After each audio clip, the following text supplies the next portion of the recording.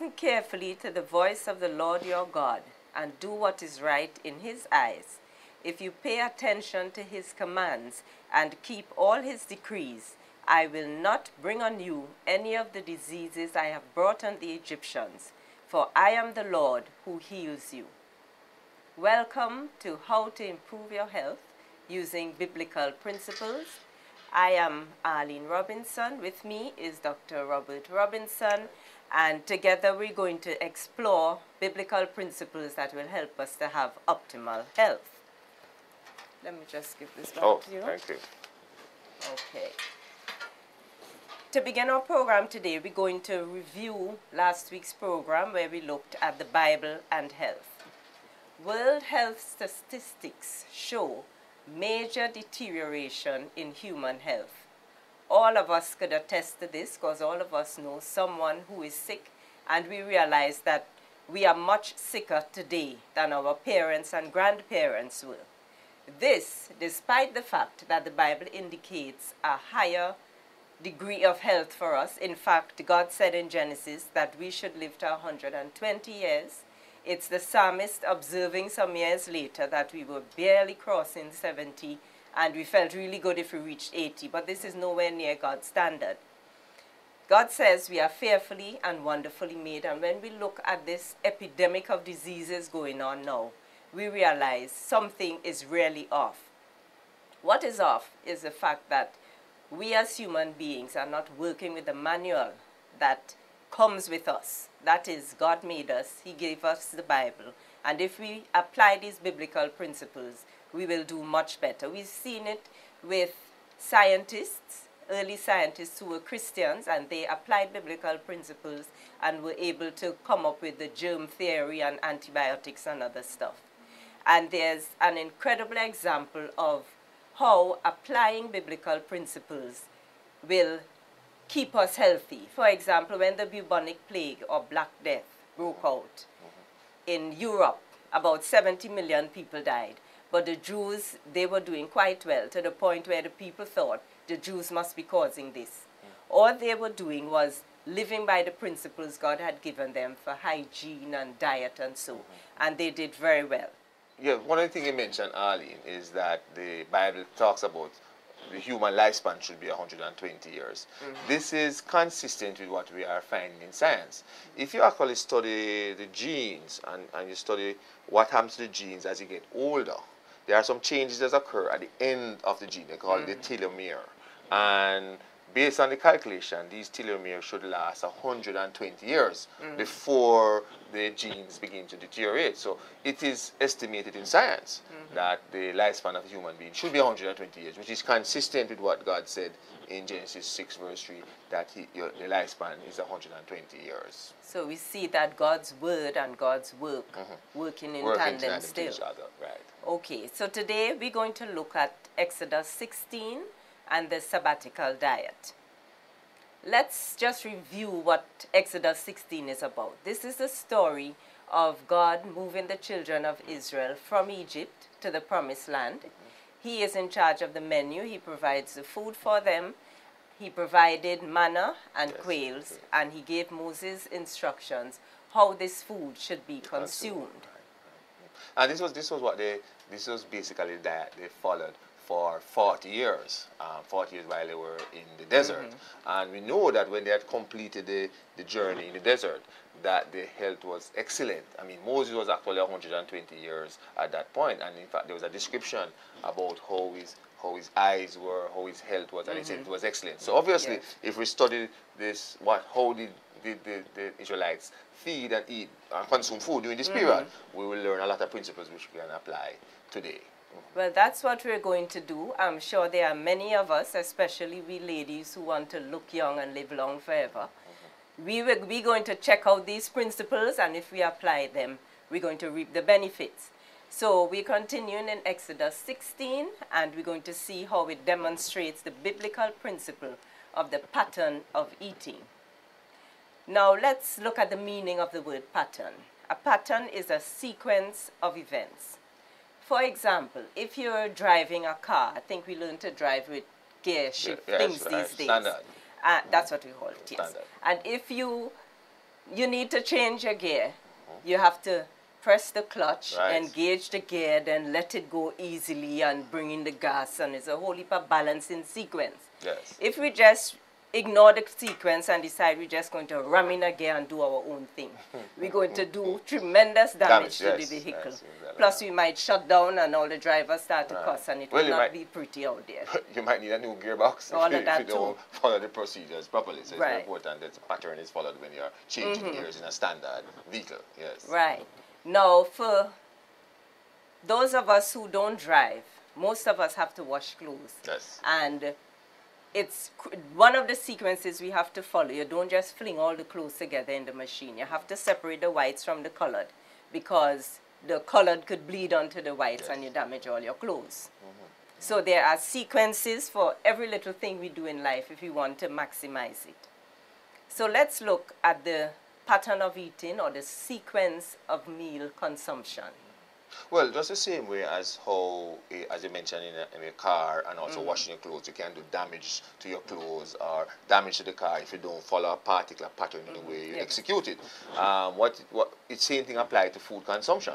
If you're not consuming food in the right pattern, Yeah. then it's likely to cause damage to your body. I mean, although food is good for our body, if, if food can also be bad if it is not used Not properly. used properly, And a lot of the diseases that we are seeing is because people are not um, consuming food in the right pattern. So just the same way with the car, you damage the gearbox. If you don't consume food properly, um, you can damage your body, and this can lead to a number of diseases. And also, you would not achieve optimal health. Right. And as we pointed out, you're not going to, the Lifespan. lifespan is going to be short. Mm-hmm. So, and, and most people lifespan now are, are, are decreased by over 40, 40, Yeah. 40, 40 years. Because you have a number of young people. We have some young people, 21, 22, Yes, yes. and we have very high blood pressures, which could eventually lick the kidney before they reach 30. Right, right. So we have to be careful and mm-hmm. find the pattern God has set up for us. Yes, yes. Now, let's see what Exodus 16 has to say about breakfast and the pattern of eating.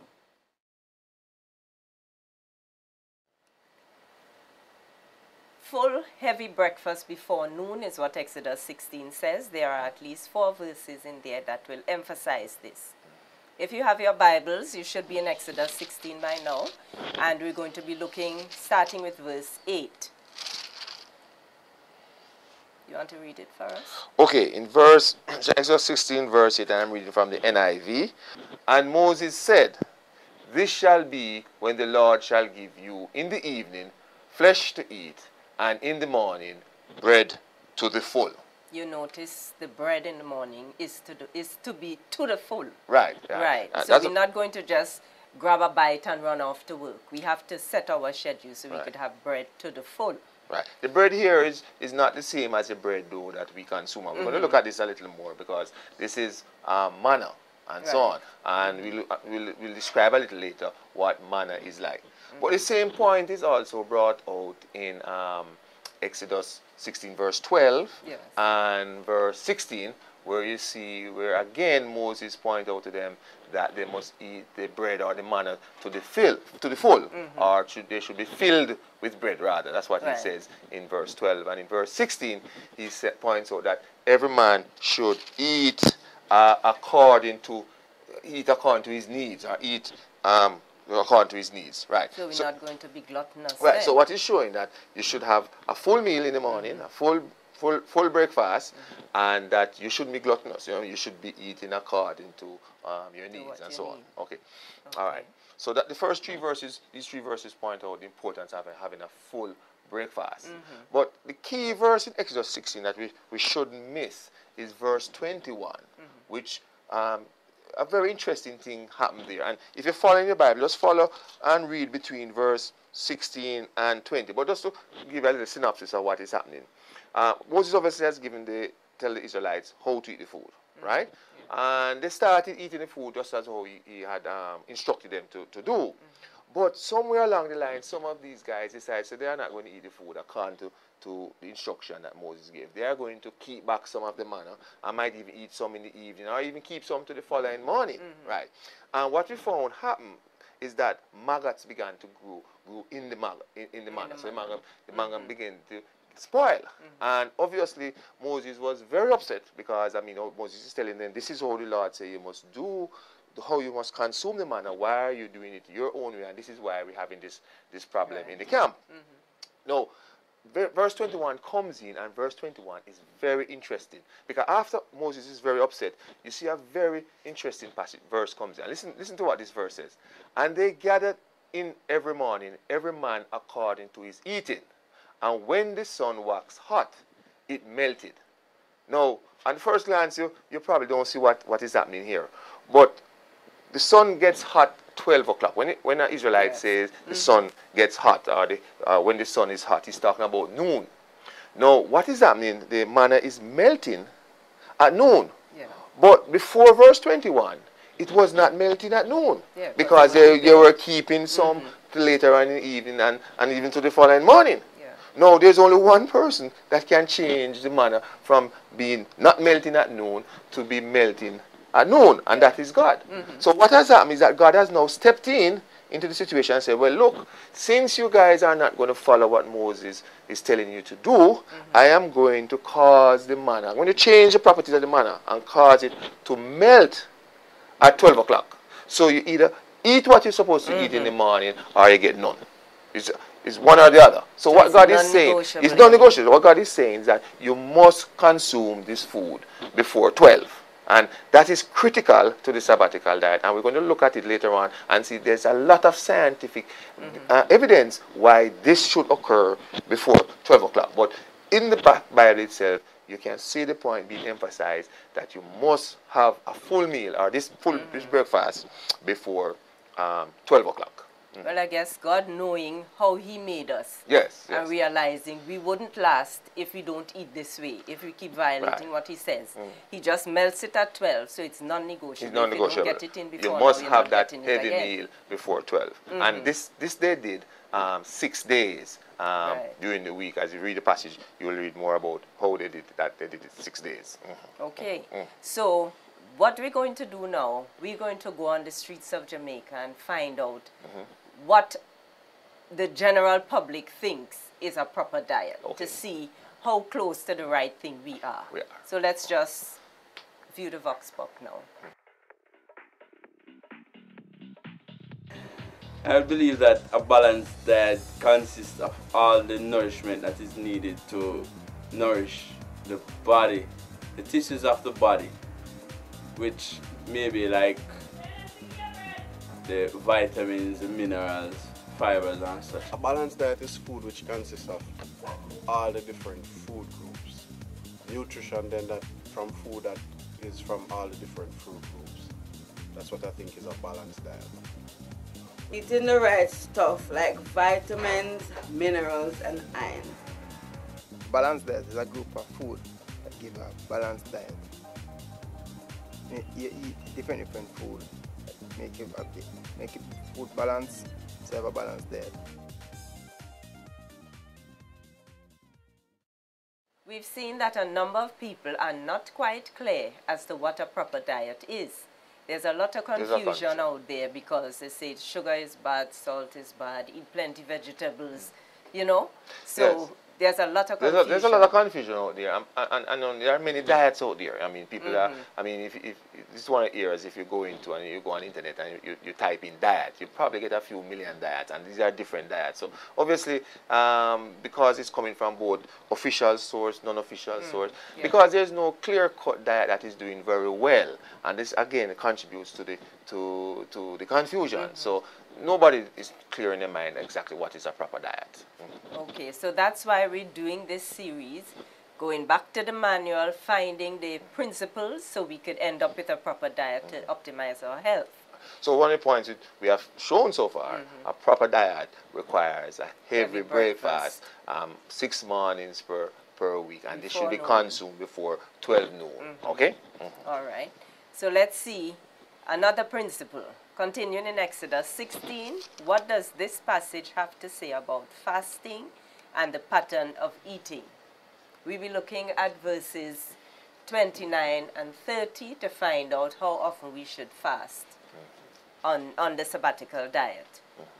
Verse 29 says, See, For that the Lord hath given you the Sabbath, therefore he giveth you on the sixth day the bread of two days. Abide ye every man in his place. Let no man go out of his place on the seventh day. Verse 30 So the people rested on the seventh day. Right. So we see this is a different day. Yes, the seventh the day obviously is not treated like the other 6 Mm-hmm. days. Now, from this passage, you, you, you observe that they collect double portion Right. of the manna uh, on the sixth day. Mm-hmm. No, they didn't go out on the seventh day to collect. The, the, one of the issues, though, is that it's not clear from this passage exactly when did they consume this food Right. on the on the the seventh Sabbath day. yes. And uh, what I did, uh, what we did, we went back into the traditional history and we went back into how the Jew, Jews normally practice the Sabbath. You, you had done some work on that, and what did you find when you? We found that the Sabbath starts on the Friday evening and ends on Saturday evening. No meal was eaten in the morning before lunch on the Sabbath day. They ate meals Friday evening and Saturday at lunchtime and in the evening.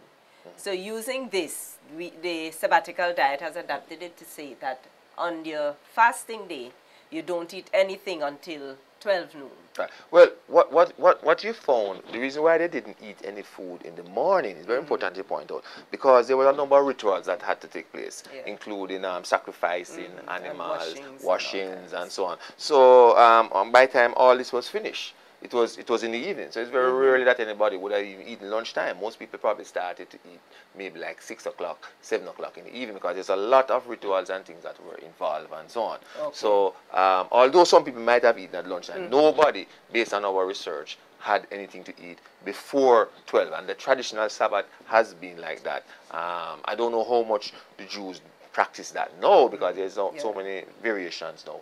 But the original Sabbath, um, as as as how Moses had instructed, did not involve any consumption of meal in the morning. So that on that seventh day they fasted to at least lunchtime. Some people probably fasted until um, late in the evening. So on the sabbatical diet, we could go past 12 o'clock. Well, We, we don't have to stop and break the fast at 12. No, you don't have to stop and break the fast at, at 12, but it's very important that you fast until 12. Um, because again, we'll show when we start to look at the science why this is critical and so on. Okay, so we've seen that we have to eat a heavy breakfast six mornings. One morning, just as how the Sabbath was the same day, the, we, the morning we pick, we stick with it, and we don't eat anything before 12. Now, let's get an idea of what, what we are supposed to eat Uh-huh. on our heavy breakfast morning. So we go back to Exodus 16. Uh-huh. How does this passage describe the manna? The manna was the food God told them over and over, we're going to eat manna in the morning. Uh-huh. So we'll be looking at verse 31, 31, 31. which says, And the house of Israel called the name thereof manna, and it was like coriander seed, white, and the taste of it was like wafers made with honey. Okay. So we have an example. We need foods that are similar to seeds, Seeds, right. and we need some sweet stuff in there as well. Right, a seed, a seed is a. And I Mm-hmm. mean, we're probably not familiar with coriander seed, but we are familiar with a lot of grains. Yes, um, we You think of corn, um, that's a popular grain we, we Mm-hmm. consume. Think of rice and so And, and the basic um, structure um, or, or constituents of grains are very similar. So if you understand what corn looks like, what rice look like, you have an Mm-hmm. Right. idea what coriander Okay. Mm-hmm. seed look like. Now, co- seeds in general are very high in starch. Um, the, the dominant component of seeds uh, is, is starch. It also contains some protein. It also contains some fat and so on. Or oils. You know, a lot of our Right. oils come from seed, like corn oil and so on. So what you see in that the the the manna itself um, was very high in in carbohydrate, very high in starch. But not only was it high in starch, because the passage goes on, as you notice, they said it, they also describe it like uh, wafers made with honey. Uh, we all know honey is sweet. Honey is, is, is, is like Yes. sugar. So we are saying that the meal was very starchy, and it also was very sweet. So you have a high um, both starch and sugars in it. Now that is very important. And when, when we come into the um, the science, uh, because there's something that starch is, starch does. When you consume a heavy, uh, in, have a heavy intake of starch, what you're actually doing, you're initiating an insulin called long-acting insulin. Now, long-acting insulin is the insulin that encourages your body to make protein. So what, what, is, what this diet is suggesting is that you're going to eat food that is going to encourage protein production. Yeah. Another important thing is that when you eat um, sugary meals, uh, especially in the morning, it causes another type of insulin to release called um, short-acting insulin. Now, while long-acting insulin encourages your body to make protein, a high level of short-acting insulin in the morning switch off fat metabolism. In other words, it stop your body from making fat.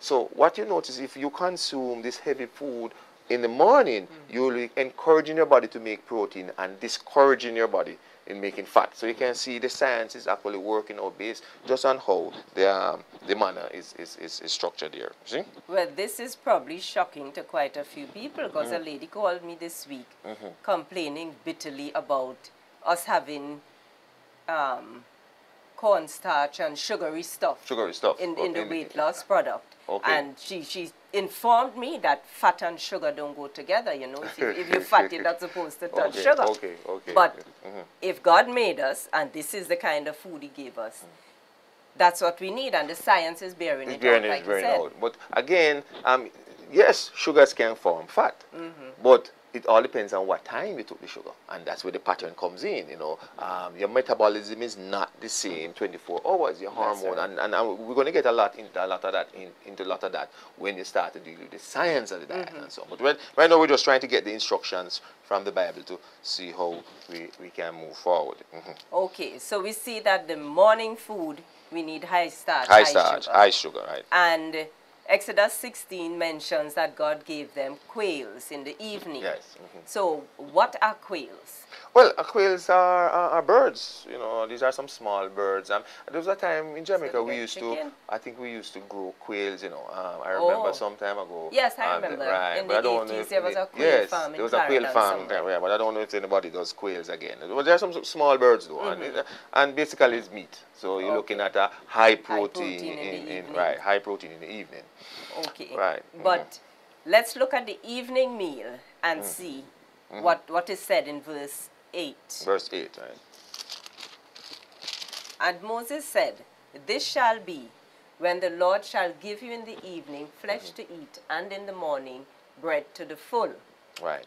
An important point you, should, you should know there is that while uh, Moses is telling them that the breakfast should be eaten to the full, no quantity is, is, is, is ascribed to the To to the the, quails. You don't say eat the quails to the full in the evening uh, and so on. You just say uh, eat some quails in the evening. So you can see the quantity aspect of it is not as critical as it, as in the case of the breakfast Right. and, and, and the morning and so on.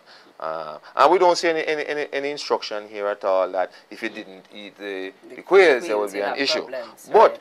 if, if you think about it from a scientific point of view, and you want to choose a food in the evening Mm-hmm. to take advantage of your repairs overnight, Right. the most likely thing your body will run short of is protein. pro- It's- you know, it's right. Mm-hmm. very unlikely it's going to run short of um, calories at that time, but it is very likely to run short of critical amino acids. Right. So if you are going to choose a food to eat in the evening, the best food will be one that has a high protein and protein, high quality yeah. protein, uh, as a matter of fact. Mhm. Okay. Verse 12 re-emphasizes it saying, At even ye shall eat flesh, and in the morning ye shall be filled with bread. So we see no specification. No specification again. In the evenings again. So it is not mandatory. Monitor, right, right. But Mhm. Again, it works with the science, because science will tell you protein in the evening will it be will better a, be, a, choice. be, a, be a good advantage. So we have the morning meal and we have the evening meal. Mm-hmm. And we have the fasting. The fasting, right. So the sabbatical diet, what is it? Okay, what, what you could say the sabbatical diet is is like a modern adaptation of Exodus 16. All right? What we're looking at, we're looking at the non-negotiable instructions in this passage, right? And we are taking those non-negotiable instructions and put it on the table to, to and arrange it on the table as a diet and so on. And and there are two non-negotiable instructions that brought out. One is um, that you should have a heavy breakfast in the morning to the full according to your, your needs. And you must have that meal before 12 o'clock. And as I said with science will show why. And you should have that heavy meal six mornings for the week right? So that's the first instruction. And the second instruction now that on your seventh day or, or your Sabbath you do the opposite. Rather than eating you are now fasting. And you should should not consume any food before 12 noon on the on the, on this on the seventh day. Mhm.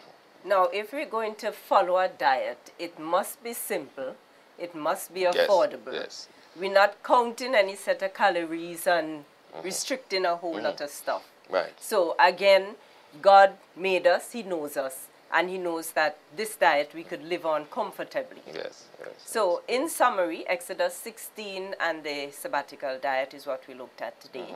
We see that God gives a practical demonstration of the pattern of food consumption when He was feeding the children of Israel in the desert. Yes. That's right. And He also provided a guide as to the type of Type of foods we should right, have for right, breakfast right, and for dinner. Right. So, we are thoroughly informed as to how That's we should go about feeding ourselves. Right. Mhm. And this information has been in the Bible since, from ever since. I mean, Moses probably wrote this um, at least maybe 6,000 6,000 years ago. Mm-hmm. So the information has been there. Um, the problem is that uh, we have ignored the Bible as a source to guide us in our science. And that's, why we, true. we are there struggling and trying all different types of diet and so on. And I mean, the, the, the statistics right now Mm-hmm. on success in obesity is less than 2%. Less than 2%. And, and what is interesting, the 2% that succeed, um, they are people who are very um, heavy into exercise, heavy into watching calories. I mean, their entire life is stressed out. Trying to keep of us their- not that, uh, um, so I mean, the majority of people will not, will not, definitely not to- to manage um, it. they- they go in that direction. No. Mhm. Okay, so we see we have the sabbatical diet, which is livable, but just as how the early scientists they showed that God's word and His work go together, we need to know that there is that the science backs up this diet. So next week we're going to be examining the scientific basis of the diet in preventing and reversing obesity and other chronic diseases like diabetes, hypertension, high cholesterol, heart disease.